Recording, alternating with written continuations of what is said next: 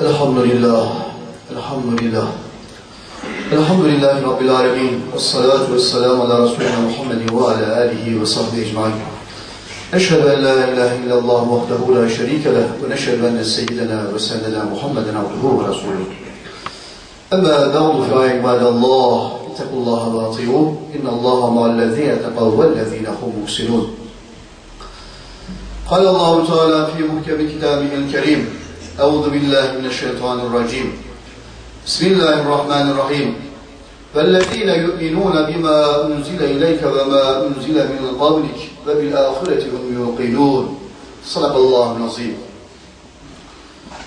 Aziz ve değerli müminler, imanın şartlarından birisi de ahirete imandır.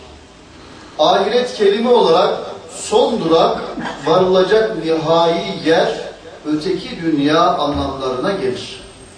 Daha açık bir ifadeyle ahiret, öldükten sonra tekrar dirileceğimiz ve hesaba çekileceğimiz yer.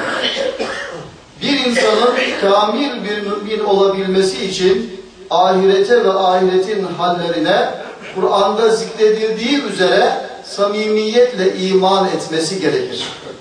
Bu hususta Allah Celle Celaluhu yine onlar sana indirilene ve senden önce indirilene iman ederler.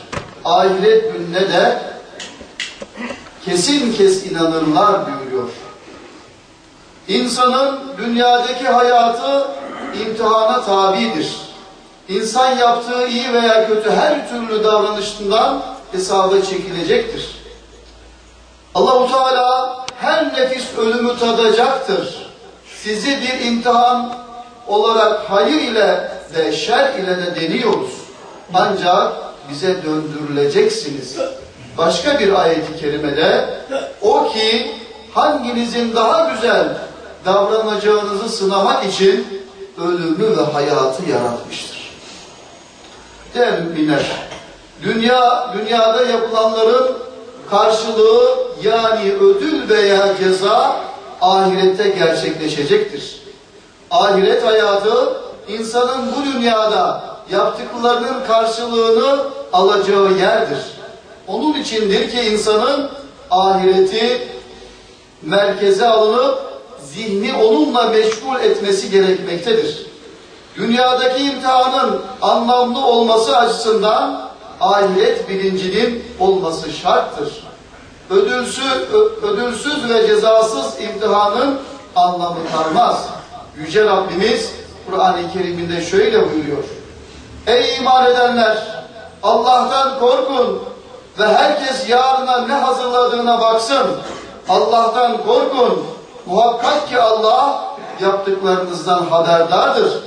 Allah Resulü sallallahu aleyhi ve sellem Efendimiz de bir hadis-i şeriflerinde Allah sizin her birinizle tercümansız konuşacaktır. Kişi sağ tarafına bakacak. Ahirete gönderdiklerinden başka bir şey göremeyecektir. Soluna bakacak. Ahirete gönderdiklerinden başka bir şey göremeyecektir. Önüne bakacak. Karşısında cehennemden başka bir şey göremeyecektir. O halde artık hiçbir şeyin yoksa bile bir hurma, hurmanın yarısıyla da olsa kendinizi cehennem ateşinden koruyun.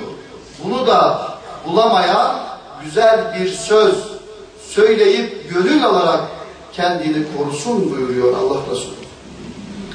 Değerli cemaatimiz, ahiret hesaplaşma ve herkesin birbirinden hakkını alacağı bir yerdir. Ahiret sonsuzluk mekanıdır. Orası Ademoğlunun ebedi kalacağı, dünyada ektiklerini biçeceği yerdir. İnananlar için huzur ve esenlik yurdu, inanmayanlar için de isyanları ve günahları karşılığında azap diyarı olacaktır. Hutbemi bir ayet maliyle noktalamak istiyorum. Kim ahiret kazancını istiyorsa onun kazancını artırırız. Kim de dünya karını istiyorsa ona da dünyada bir şeyler veririz. Fakat onun ahirette bir nasibi olmaz. قال عليه الصلاة والسلام التائب من الذنب كما لا ذنب له استغفر الله العظيم وأتوب إليه وأسأل الله لي ولكم التوفيق Peygamber Efendimiz günahlarına tevbe eden kişi hiç günah işlemeyen gibidir buyuruyor. Yüce Rabbimden bağışlanmamı diler, kendim ve sizler için başarılar dilerim. أعوذ بالله من الشيطان الرجيم. بسم الله الرحمن الرحيم. إن الدين عند الله الإسلام.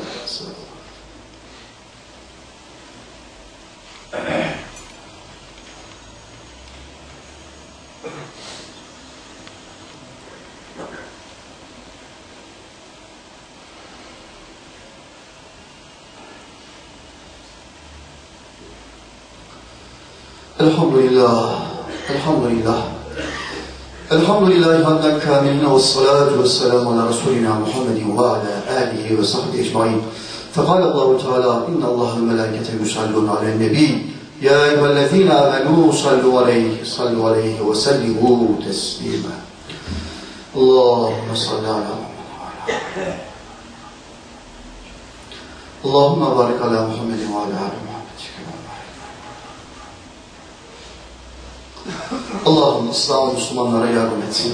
Memleketimizi, milletimizi, devletimizi her türlü tehlikeden koru. Bize dünyada ve ahirette iyilik ve güzellik ver. Bizi, annelerimizi, babalarımızı ve bütün geçmişlerimizi bağışla ya Rabbi. İbadet ve taatlerimizi makbul eyle. Dualarımızı kabul eyle.